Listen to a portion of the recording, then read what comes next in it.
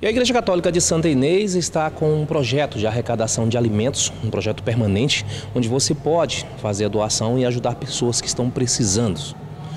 Eu vou falar com o pároco Arlisson Ernesto, aqui que é pároco da paróquia de Santa Inês, e ele vai explicar melhor como você aí de casa, como você pode ajudar as pessoas mais necessitadas aqui no município de Santa Inês.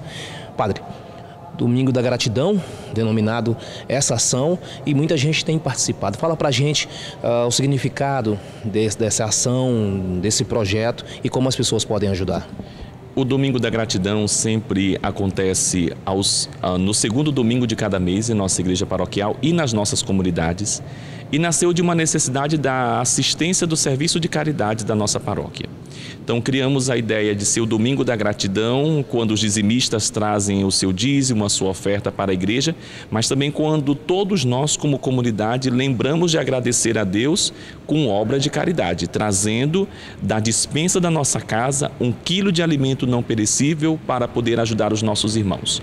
Sempre no segundo domingo é o domingo que recolhemos esse alimento, mas tem muitos fiéis que às vezes esquecem ou que durante a semana querem trazer também.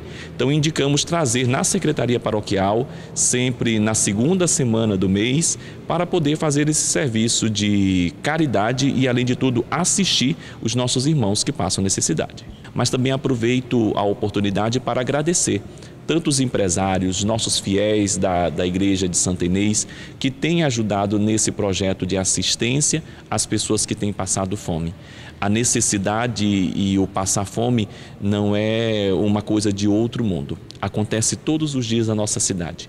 Eu, como padre, diariamente recebo pessoas que vêm pedir ajuda. E claro que a maioria de nós, na nossa consciência, geralmente pensamos: não, é um vagabundo, é alguém que não quer trabalhar. A fome é, dói na barriga de quem sente.